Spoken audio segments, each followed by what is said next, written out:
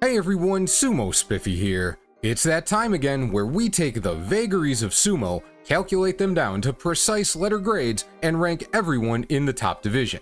Bear in mind, this is being recorded the Monday before the Basho with the most recent Chris Sumo injury updates in mind. I delayed recording to get as much information as possible, but updates beyond this point may still further change what we can expect from certain guys, so bear that in mind between now and the start of the tournament.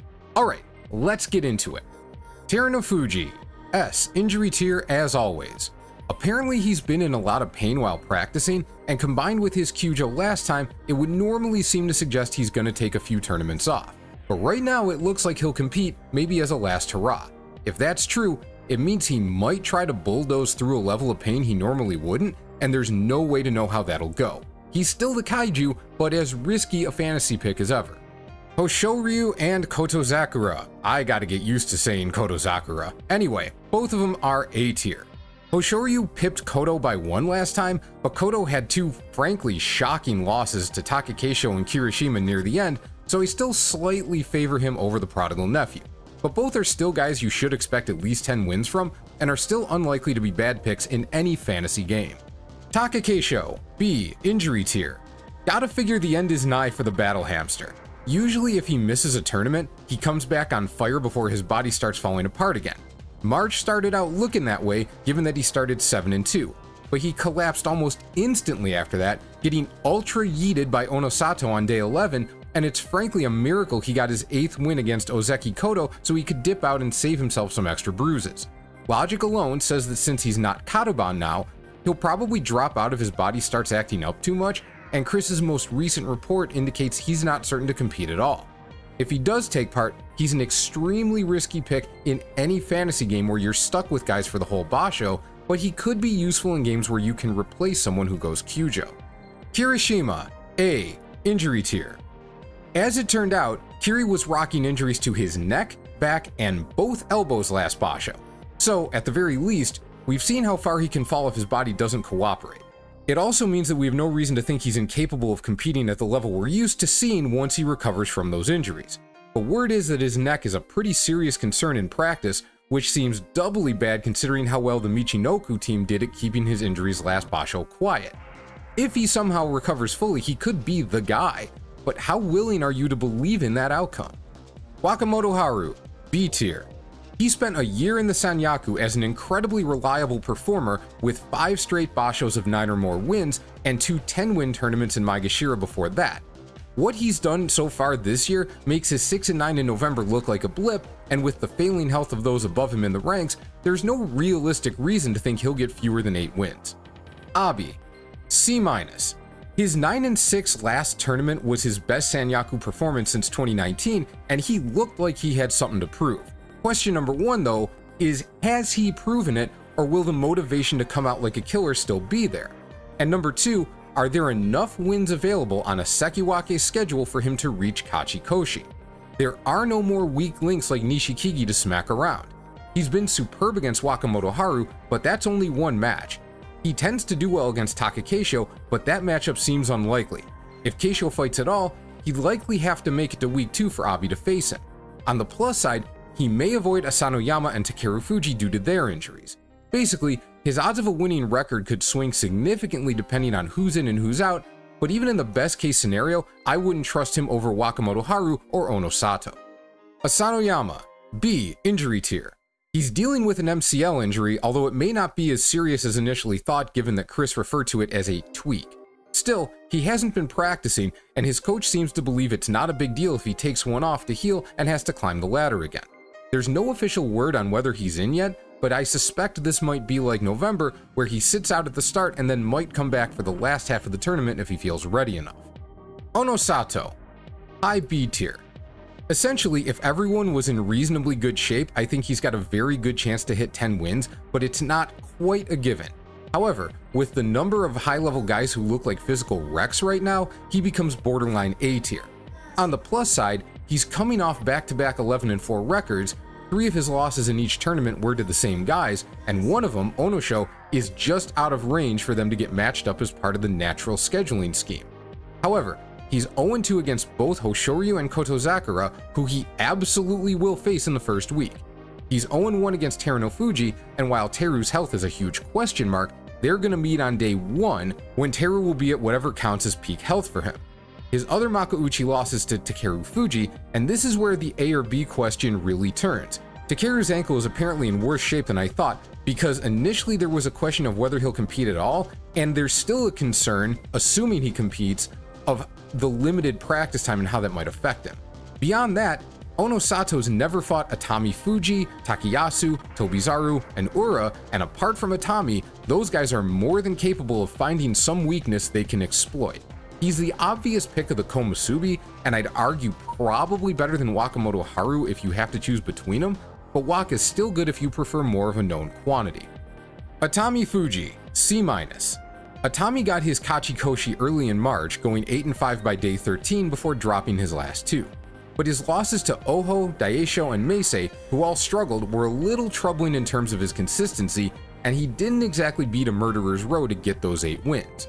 That being said, if any stable can refine a wrestler and sand off the rough edges of their performance, it's Isegahama, so at any point we could see Atamifuji with a new approach that really starts taking people to the woodshed. But until that happens, it looks like he might be riding a 50-50 record all the way to the end of the Basho. Daisho, C+. When Wakamotoharu went 6-9 and dropped, I also tagged him C+, because I thought the fact his 6-9 record happened at all might mean something. Obviously now it doesn't look like it meant anything other than he had a bad go of it one time. With Daisho though, it's easier to see how last Basho might be more than a one-off. He completely sleepwalked through the first three days, but even if he hadn't, I'd have a hard time seeing that Basho turn out better than 8 and 7. The competition is catching up, and I'm not sure his body, his style, or both can hit a new level that lets him maintain another extended run of success in the Sanyaku. I still think he's better than 50-50 to get a winning record here because if he does struggle a bit, having a Maegashira schedule towards the end rather than a Sekiwake one could make all the difference. But I would be quite surprised if he replicates Waka's 10 wins from January. Hiradoumi, D tier with a possible upgrade to C minus. I called him D tier last time and he made me look silly, and really I'm fine with that. I like his style and I'm glad to see him find success. But part of the reason for thinking he'd have a losing record was that at the Joi border, I figured he'd have more than three Sanyaku matchups and they'd crush him. As it turned out, he won two of those three, but those were against Kiri and Daisho, who were obviously not at their best. One of his wins was thanks to the Ura hair pull, and it was the right call, but Ura had him beat without the hair pull. So a full Sanyaku run should make him 100% D tier. However, if Takakeisho and Asanoyama are out, that removes two major roadblocks, and if Kirishima's still a mess, that could be enough to at least give him a chance at 8 wins. He doesn't look like a great pick under any circumstances, but he could go from bad to not that bad depending on everyone else's status. Gonoyama, C-. Minus. He had a fine performance last tournament, and even though he benefited from two Fusen wins, they were against Tsurugisho and Tobizaru, who he was odds on to beat anyway. He seems to be adjusting his game to account for the fact better opponents can abuse his aggression, but the adjustment isn't happening that quickly, and aggression is still his calling card. Plus, he makes some very odd decisions at times. It blows my mind, for example, that he faced Takerufuji after Takeru's ankle injury and opted into a grappling match. As with most of the Joi, the Sanyaku injuries improve his odds of success, and he's good enough that he could squeak out a winning record even if he does struggle thanks to a downgrade in competition later on, so I don't think he'll look as bad as he did going 5 and 10 in January, but it's hard to see a highly successful Basho this time around. Takayasu, B, injury tier. Not that long ago, I may have made him A injury tier, but his 11 and 4 in March might offer some false hope. When he went 10 and 5 from Maegashira 7 in September, for example, he started 8 and 1, then ended up losing to Atami on his big run, normal Daisho, uninjured Hokutofuji, and Kirishima. It was a clear upgrade in competition. This time he somehow lost to Shodai and Mitakeumi on days 4 and 6, even though at this point in their careers he should absolutely smoke them. That led to a schedule which never became overly challenging, so he kinda softballed his way to 11 wins. He didn't even get a special prize for his 11 and 4 Jun-Yusho because it just wasn't that impressive. He's absolutely capable of winning at this level, and 10 wins is certainly within his capability, but even if he looks reasonably healthy throughout, 10 wins might also be his realistic cap. Tobizaru, C-. Even though he only went up a half rank, it's the half rank that's much more likely to ensure a full Sanyaku run. On top of that, some of the Maegashira guys around him have been tough for him in the recent past, like Atamifuji and Hiroda Even worse, he's stuck in this middle ground where he might be able to avoid both Onosato and Takerufuji, but he might also pull them both as well. I never want to discount our precious Toby, but there are a lot of pitfalls waiting for him here. Oho, D tier. He's gonna get some Sanyaku fights even if it's only 2 or 3, and remember, he was only 4 and 8 last Basho before he got some of the weakest matchups possible on days 13 and 14. If you want to accuse me of being a hater, I'll save you the trouble, I absolutely am, but he hasn't fallen quite far enough in rank to get a schedule he might be able to succeed with. Ura, C+. Given that Takakeisho and Asano Asanoyama may not compete, and Terunofuji seems insistent on taking part but doesn't seem like he's gonna last the whole time, that means Pinky's almost certainly gonna get dragged up into more Sanyaku matchups than might otherwise be the case. However, those will come later on, and until then, he's got a good number of winnable matchups around him on the Banzuke. This only gets boosted further if it turns out Takerufuji can't compete or has to drop out early. Given that we know he can take some wins off the higher ranks, if he performs like he's capable of against his fellow rank and file at the start, it should only take a couple of Sanyaku wins to earn a Kachikoshi. Onosho, C, injury tier. Onosho's coming off a 9-6 record preceded by a 10-5. Those were at lower ranks, but on the plus side, the only bad loss he had last Basho was to Ryuden. Things are going to be tougher now, but if he's able to hold together like he has the last two tournaments, there are enough soft targets around him that he should be able to start strong and at least hold on for a winning record. But guys with creaky knees and relatively recent issues with those knees are always a risky proposition, even if they don't look terribly hurt. He's one of the more reliable injury tier guys right now, but I'd still stay away from him in fantasy if seeing one of your guys drop out feels especially bad. Meisei, C+.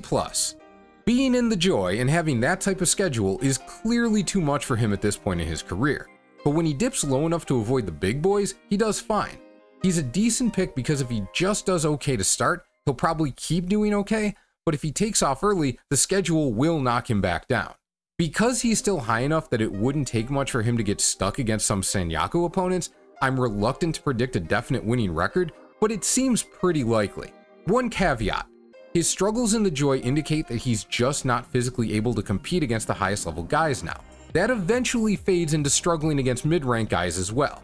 I don't have reason to think he's going to fade like that yet, but once the process starts, a major drop-off is always possible. Takerufuji, S, injury tier. I mean, you saw what this dude did in March. Everyone gets figured out eventually, but if you're physically overwhelming, you can still find wins, and that's where he's at right now. The one point of concern, of course, is his sprained ankle, and initially I figured that being able to adjust and beat Gonoyama the day after the injury meant he'd be fine for May. Apparently that's not the case though. He only just returned to practice, and this is probably the longest he's ever gone without regular training. He's obviously S tier at Maegashira 6 normally, and I'd be surprised if he competes 15 days and finishes with a losing record no matter how gimpy he looks. But there's no way to know what state he'll be in until we see him fight. Midorifuji, B tier. I had him at B tier at a higher rank last time, and he was right in line to get his winning record until he took extremely surprising losses to Onosho and Sada Sadanoumi. I'm willing to bet on him again, especially since now he's out of range of Hiroda Onosato, and probably Gonoyama, who handed him three of his losses last time. If he struggles here, it might be a sign that the little guy is getting figured out too well, kinda like what happened to Enho but Midori's bigger and stronger than Enho, and I don't think he's to hit that wall yet. Nishikigi. Ah god, who knows with this guy? Ah, I guess C+. He's obviously a disaster in the Sanyaku, but at Maegashira 7 he should be okay. He's surrounded by old school guys who are probably willing to fight him face up the way he likes, which should help him pick up a few wins. He's still way too slow on the Tachiai, so some of this might come down to whether he actually adjusts this time, or if not, whether a bunch of opponents try to take advantage. I'm probably being generous making him C+, but just take this as very close to 50-50 for him to get a winning record. The exact schedule he pulls will be more influential in his outcome than it is for most guys. Mitakeumi, C-. Since he last fought in the Joi back in July, he has three winning records and one losing one. He should, for the most part, be okay at this level. And if you look at some of the head-to-heads against his likely competition, it doesn't look like he should do too badly. Logically, he should squeak in as a C+. But he also rides a very thin line between winning and losing records. He's got much tougher competition, not that many ranks above him, and I just have this feeling something's gonna go sideways on it. I think calling either a 7 and 8 or 8 and 7 record is safer than trying to predict whether he'll have a losing or winning record. It's that close. I just like the chances of some of the guys around him more. Takanosho, C minus. Very similar to Mitakeumi in that he does fine at this level, but there are enough guys who should give him trouble and guys who I think have a better chance at success that I think it's more likely he eats just enough competitive losses to end up with a losing record. Kotoshoho, C. He had one nice win last Basho against Onosho. The others were against guys he should beat consistently anyway, three of whom aren't even in the division anymore. There are fewer winnable matchups now, and coming off an 8 7 record, that's not a great sign. But there's so much mediocrity around him that it's hard to shove him into D tier. Tamawashi, C+. Kind of a flip side to Kotoshoho. His 7 8 record doesn't look great considering he only even got that by beating Kitanowaka and Myogiryu the last two days, but he's not going to have to deal with Onosho, Takayasu, Gonoyama, or Onosato this time, and there's no one of that caliber in his neighborhood. I'm calling solid odds on a Kachikoshi from him in the 60 to 70% range. Shodai, C, injury tier. Same thing as last time. Shodai's mental is so trashed that it's hard to know when he'll show up and when he'll break down. I mean, this is a guy who beat Takayasu last Basho, then lost to Daiamami four days later. Yeah, weird wins and losses are part of sumo, but seeing that and not being surprised is particular to Shodai. If you want to lean one way or the other, I'll say C plus because his likely win range is 7 to 9, but he's still the most untrustworthy wrestler in terms of calling his wins and losses. Shonannoumi, B tier. He started out like a monster in March, picking up 7 wins in 8 matches after an opening loss to Sadanoumi, and the only loss in that streak was to Takerufuji. Then his schedule got tougher, he dropped fights to Takayasu and Abi, and then just didn't look so good the last few days as he did at the start. Even so, he's clearly a step above the competition around this rank, and it's incredibly hard to imagine him stumbling to a losing record at Maegashira 10. Kinbozan, B tier. Like Shonannoumi, he's just better than the guys around him. He took a terrible fall in March and only missed a couple of days, then nearly spun the downgraded schedule he got into a winning record. I don't think his health is problematic enough to tag him an injury risk, and he might have more upside at this rank than Shonannoumi, but you still might want Shonannoumi if you have to pick between them and want a safer choice. Sadanoumi, C+. Sadanoumi got off to a great start in March, going 6 and 2 in the first week, but then got hit with Churanoumi, Onosho, and Takayasu, against whom he's now a combined 4 and 25. Head-to-head might not mean a ton in sumo generally, but it usually does when the numbers are that skewed. Takayasu and Onosho might be out of range now, but I also have my doubts he'll start 6 and 2 again, so we're probably looking at another battle for his Kachikoshi going into the last few days. What pushes me towards C plus is that at Maegashira 11, he's likely to have some matches against the guys coming up from Juryo, and he should match up well with them. Hokutofuji, C, injury tier. Give Captain Faceplant his flowers. He was 1 in 7 after 8 days, but managed to spin that into a 6 and 9 record. He can still beat the ones who don't belong in the division, of which there are always a few, and if his knee is improving, a winning record is well within his capability. But without news on his health, we have no way to know how that knee is affecting him, which makes him an inherently risky pick. Ichiyamamoto, C+. Like Sadanoumi, a big part of this is because he's gonna face some of the Juryo promo tees. More to his advantage though is that he was in Juryo recently and thus more familiar with them. I don't expect him to beat Shonannoumi or Kinbozan, but he should have a decent chance against everyone else, and I'm leaning more towards 8 wins than 7. Nishikifuji, high C+. I hate the eye test, but I'm mainly basing this on the fact he just doesn't look like he's got the same capacity as when he was bouncing much higher in Maegashira a year plus ago. He did finish with a couple of tough matchups last tournament, pulling Gonoyama and Shodai with his Kachikoshi already locked up, and there's no reason to believe he'll do worse than 8 and 7 this time. The difference between him and someone like Shonen Umi, though, is that where I can see Shonannoumi clearly being better than a lot of his opponents, it's more common that I watch Nishikifuji get the job done, but think about how the match could have gone the other way. So, not B tier, C+. Alright, last time I grouped a bunch of guys who I didn't expect to do well, and every one of them finished with a losing record. I see a similar situation here, so let's do it again. Mito Ryu, Churanoumi, Roga, and Takarafuji, C minus. Ryuden and Tomokaze, C injury tier. None of these guys, apart from Ryuden, have shown themselves to be really Makuuchi level. I know Churanoumi's been sticking around, but a lot of his wins in Makuuchi have come against fading stars or Juryo regulars who are about to get shot straight back down. Maybe there's enough of them here to swing a winning record, but if he doesn't get a third straight 7 and 8, I think worse is more likely than better. And the Ryuden who might appear to have physical issues but should normally wreck guys at this level doesn't appear to exist anymore. He still had his clever game plans in March, but he couldn't make him work to the extent he usually does. For him, injury tier seems more correct because it's still not clear if he'll have yet another tournament where he pulls it together and fights like he did in the relatively recent past, but expecting another low rank 10 and 5 from him seems more like a dream than it did a year ago. As for the rest, Mitoryu is simply not Makuuchi level. He should be big enough and strong enough to at least hang at the bottom of the division, but the chances he's had haven't gone well. Roga got a little screwed at the end of March, reaching 7 and 6 but then having to face Takayasu before he got a Darwin match against Kotoshoho. But his first three wins were against Endo, Kitanowaka, and Daiamami, all of whom are now gone. If Kyujo's result in Makuuchi versus Juryo matches, he's set to face Daishoho, who he's 0-4 against. He still has the physical ability, but until he shows more game, I'm calling very low odds of a winning record here, like 10 to 20%. I initially placed Takarafuji in C+, but then I realized it's because I hope he does well and I definitely huffed the copium. He just physically ain't got it enough to think he has a legit shot at a winning record. And Tomokaze's got one functioning foot. Everyone knows it, everyone will attack it. He'll still get some wins, but C injury tier is being nice about the fact he's got this permanent physical issue. As a group, these guys are very similar to the bottom batch from last Basho.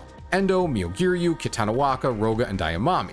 The best odds they have of getting a winning record is to pop off on everyone in the vicinity and pick up a couple more wins against legit Makuuchi level guys. None of them are likely to do it, but all of them theoretically could, so they're C minus picks. But we did skip a few. First of those, Oshoma, C plus. I'm as surprised as anyone on making this pick, but it's almost impossible for the last nine guys in the division to have losing records, so someone's gotta win. And even though he might make me look like an absolute moron, I think Oshoma's the most likely guy. He didn't look completely amazing in Juryo last Basho, but he was winning and, more to the point, not screwing around.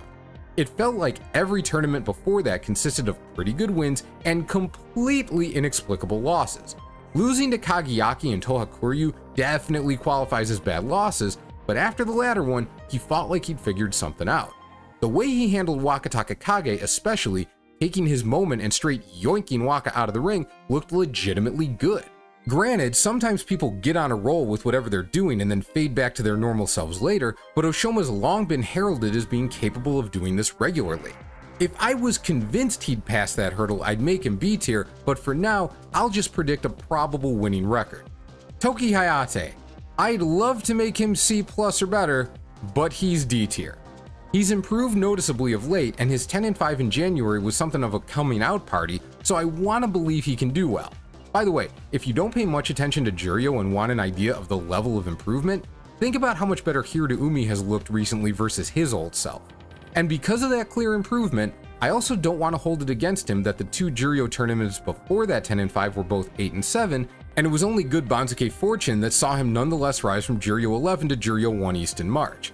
If he was ever going to succeed in Makuuchi, it should be now, with a decent amount of equally vulnerable competition around it. But he's coming off another 8 and 7 in March, and it's really difficult to see how someone who mostly squeaked out winning records in Juryo is going to find 8 wins in Makuuchi. And Tsurugisho. B. Injury tier. This rank is a mark of respect more than anything. We've seen over the last year that Tsurugisho is absolutely capable of scoring a winning record at this level, and if he'd gone Kyujo and dropped this far for some less serious reason than blowing out his whole ass knee, I'd hold out hope for an actual B tier performance. But the only reason he'll go out there is to see what he can accomplish and, if nothing else, try to minimize just how far he falls into Juryo. It may not be wise, but he'll probably do it. And a lot of those C minus guys we just discussed will pick up relatively straightforward wins. Speaking of the C minus group, keep in mind I'm ranking them with the assumption Tsurugisho participates.